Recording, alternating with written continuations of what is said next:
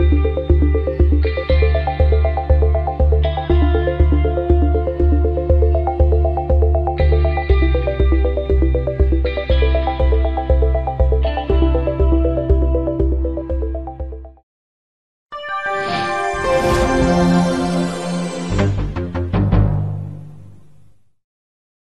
2018 FCIAC Boys Soccer Semifinals. The hosts, Fairfield Ludlowe, taking on the top seed Danbury, and the goalkeeping getting us going early in this game at Taft Field. You saw one from Nick Tenroa, you see one from Danbury right there, and Danbury continues to roll, but this time offensively. This is uh, a nice loft into the box from Aiden Coleman. Just misses Victor Oliveira and just misses his foot. Will remain scoreless until 45 seconds to go in the second half. Look at how excited the Hatters are because that is your game-winning goal with 45 seconds to go. Tiago Dos Reyes puts it in. Here's the replay. Just misses Tenrero's hands, and the Danbury Hatters are headed to the FCIAC championship game.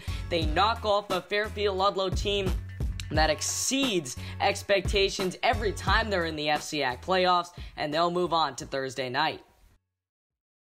All right, so game number two, it's under the lights, number two, Trumbull, number three, Staples. And we pick things up with Tiago Frazeo in the first half. He gets it, oh, he goes over the net, and uh, we continue scoreless. Here's another opportunity, this one off a free kick. Nikola Milanov can't put it in, unfortunately, for the Golden Eagles. And that ends our first half highlights. Let's go to the second half.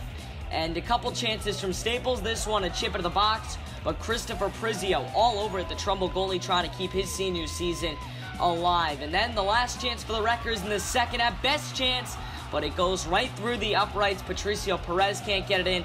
We need extra time. Extra time, not enough. So we go to P K's. And we'll pick things up here in the second round of penalties. Trumbull leading 1 0, but Austin Scholes keeps the Wreckers in it, and we are tied at 1. Staples is going to keep us tied. Rye Cohen with a nice save. We remain tied 1 to 1.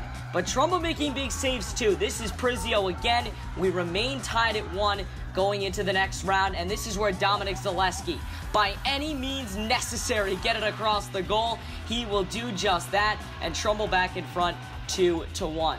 And then it's Prizio making more nice saves, a big one here as he stops Brendan Lynch. We make it 2-1 going to the next round for the Eagles. Justin Horvath, ice in his veins, puts him in a position to win it. It's 2-1 Golden Eagles, and then the stop that sends Trumbull to their third FCIAC championship in as many years as they stop it and they are going again to their third straight FCIAC title game. Their first against Danbury. It's number one Danbury and number two Trumbull for the FCIAC championship on Thursday night.